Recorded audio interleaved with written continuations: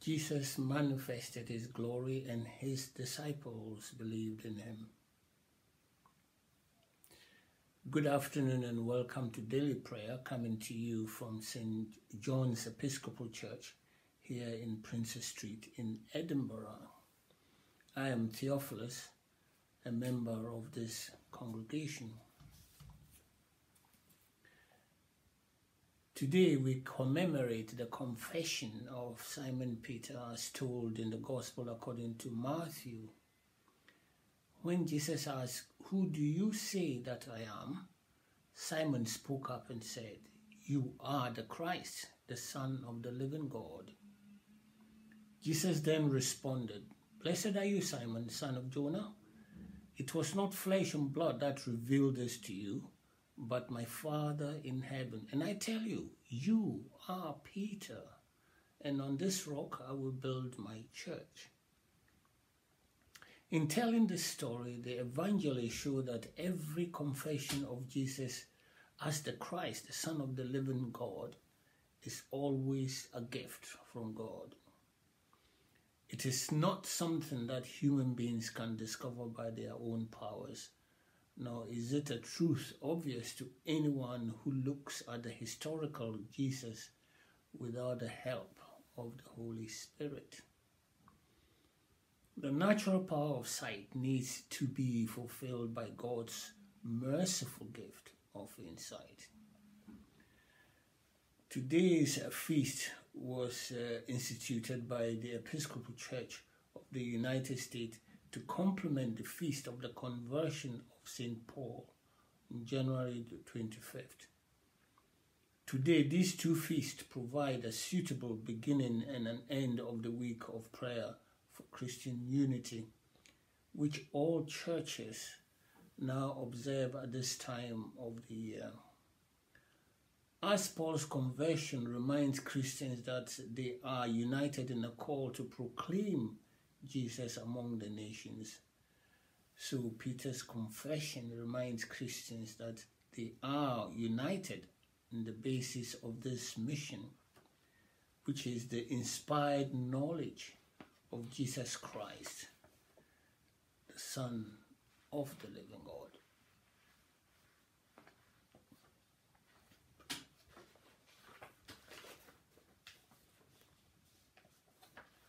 So let us now worship God with words from Psalm 23.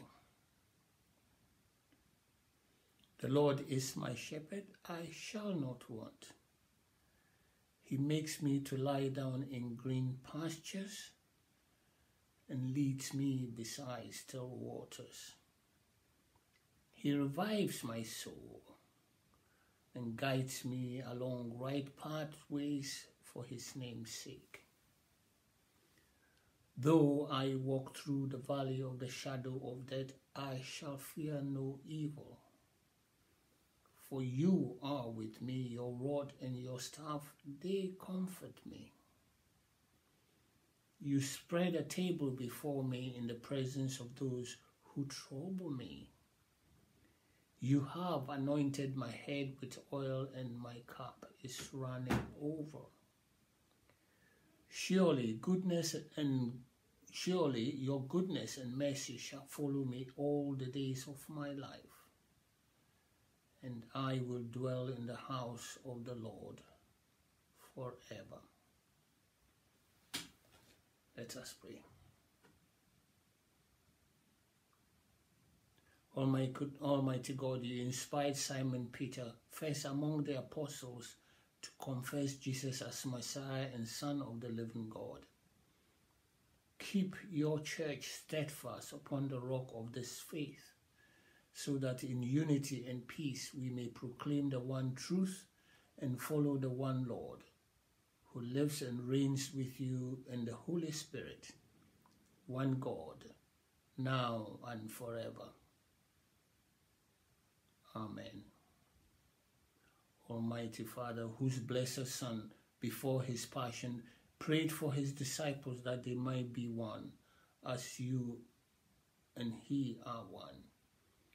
Grant that your church, being bound together in love and obedience to you, may be united in one body by the one Spirit, that the world may believe in him, whom you have sent, your Son Jesus Christ our Lord, who lives and reigns with you in the unity of the Holy Spirit, one God, now and forever. Amen.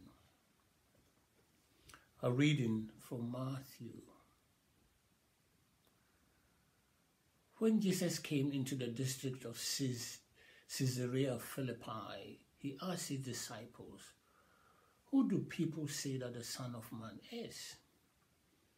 And they said, Some say John the Baptist, others Elijah, and still others Jeremiah or one of the prophets. Jesus said to them, But who do you say that I am? Simon Peter answered, You are the Messiah, the Son of the living God. And Jesus answered him, Blessed are you, Simon, son of Jonah, for flesh and blood has not revealed this to you, but my Father in heaven. And I tell you, you are Peter, and on this rock I will build my church, and the gates of Hades will not prevail against it. I will give you the keys of the kingdom of heaven, and whatever you bind on earth will be bound in heaven, and whatever you loose on earth will be loosed in heaven. Hear what the Spirit is saying to God's people. Thanks be to God.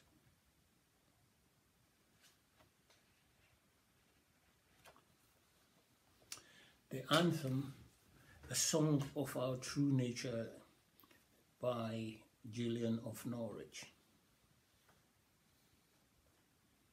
Christ revealed our frailty and our failing, our trespasses and our humiliations. Christ also revealed his blessed power, his blessed wisdom and love. He protects us as tenderly and as sweetly when we are in greatest need. He raises us in spirit and turns everything to glory and joy without ending. God is the ground and the substance, the very essence of nature. God is the true father and mother of natures. We are all bound to God by nature and we are all bound to God by grace. And this grace is for all the world because it's our pre precious Mother Christ. For this fair nature was prepared by Christ for the honor and nobility of all, and for the joy and bliss of salvation.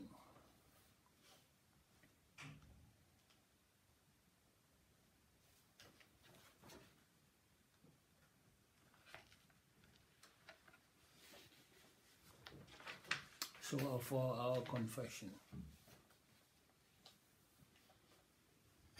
If we say we have no sin, we deceive ourselves, and the truth is not in us.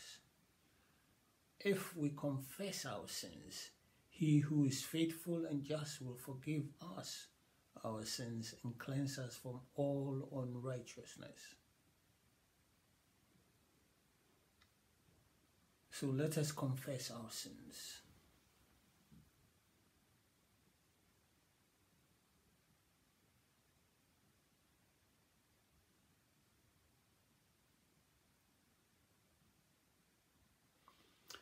Lord Jesus Christ, Son of the living God, have mercy on us sinners.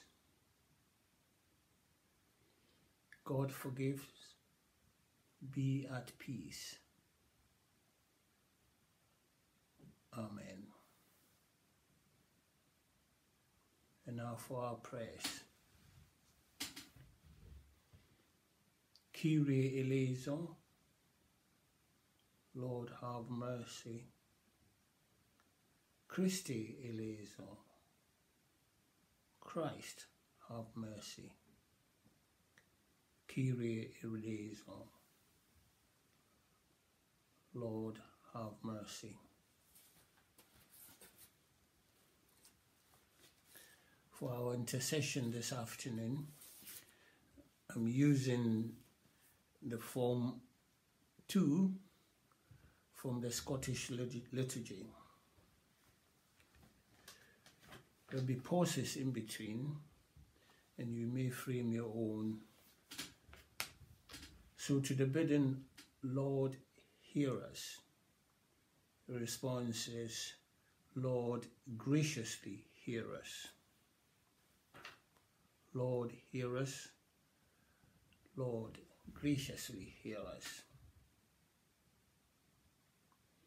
O God, the Father of our Lord Jesus Christ, in whom you chose us before the foundation of the world and destined us in love to be your own, help us to pray for all your children. Pray for the life of the world, that your peace may be known and may prevail.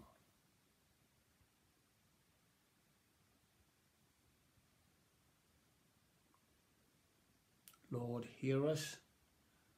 Lord, graciously hear us. We pray for all who suffer injury, death, or loss, that they may know the hope to which you call us. Increasingly, we all know families who have lost loved ones to COVID 19.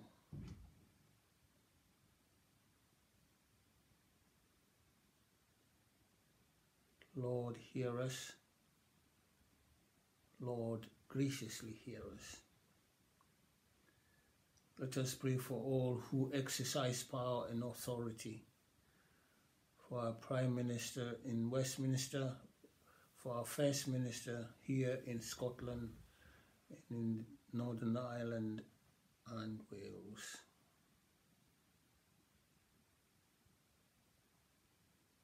Lord, hear us. Lord, graciously hear us. We pray for the church, which is Christ's body, that it may live for the praise of God's glory. Let us continue to pray for all our churches, and especially churches together here in Edinburgh.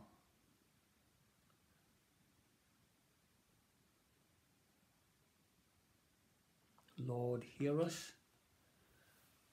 Lord, graciously hear us. God, you exerted your strength and power when you raised Christ from the dead, putting everything in subjection beneath his feet.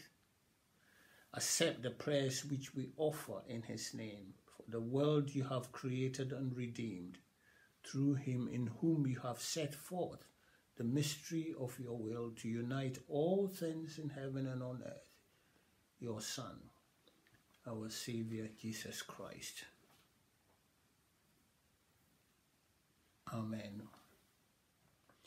Uniting our voices and praise into one, we pray as our Savior taught us. Our Father in heaven, hallowed be your name. Thy kingdom come Thy will be done on earth as it is in heaven. Give us this day our daily bread. Forgive us our trespasses as we forgive those who trespass against us. And lead us not into temptation, but deliver us from evil. For thine is the kingdom, the power, and the glory, forever and ever. Amen. Accept, O Lord, our thanks and praise for all you have done for us. We thank you for the splendor of the whole creation and for the beauty of this world, for the wonder of life and for the mystery of love. We thank you for the blessing of family and friends and for the loving care which surrounds us on every side. We thank you for setting us tasks which demand our best efforts and for leading us to accomplishments which satisfy and delight us. We thank you also for those disappointments and failures that lead us to acknowledge our dependence on you alone.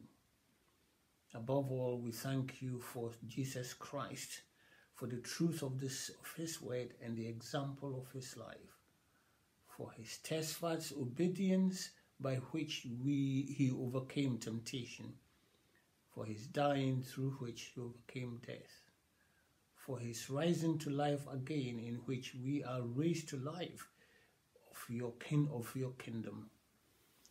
Grant us the gift of your spirit that we may know Christ and make him known, and through him at all times in all places may give thanks to you in all things.